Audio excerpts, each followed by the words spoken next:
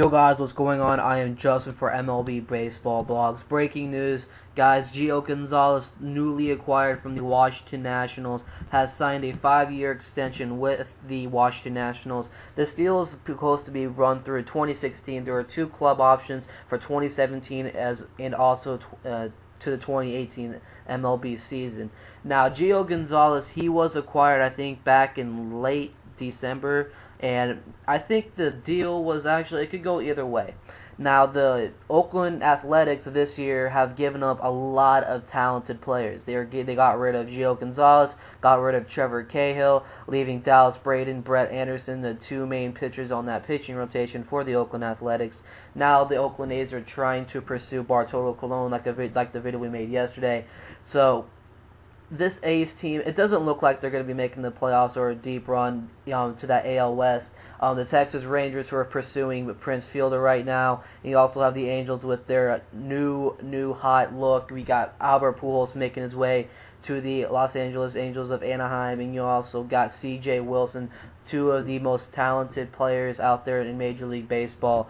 But this Oakland Athletics team is not most likely will not make the run because they're giving up too much talented players and um, with the trade that they got from Gio Gonzalez, they do they did get a lot of uh, the Nationals' top ten uh, prospects. They got Brad Peacock, Tom Milone, Derek Norris, who I'm actually a huge fan of Derek Norris because I'm really into that type of prospect type of talk, you should say. And you also got AJ Cole.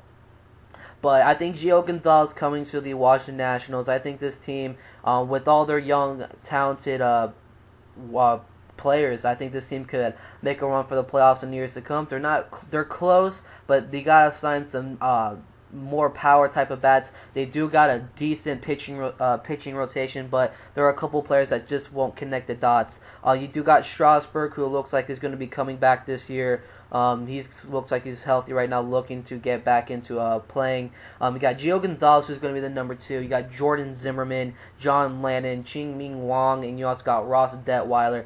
Now, those last three guys, Lannan, Ching Ming Wang, and Ross Detwiler, those guys are very questionable. They don't really seem as that those pitchers are not really like that type of like a playoff. You you can like hit off those guys like anything.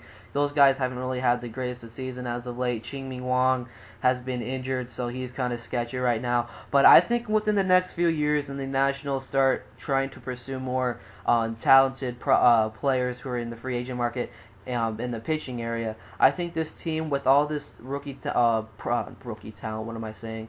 All this young talent, I think this team can possibly make the playoffs within the next few years. But I think with the Gio Gonzalez locking him up for the next five years is a good, good uh, way to keep this team, we keep this pitching rotation intact. So you got the number, you got pretty good number one and number two in starters, but three, four, five, and six. Those th- other th- a couple guys are just questionable right now. But yeah, guys, let me hear your comments on this. Gio Gonzalez has signed a five-year extension with the Washington Nationals. I'll see you guys later, and please, I want to hear your comments on this. I'll see you guys later.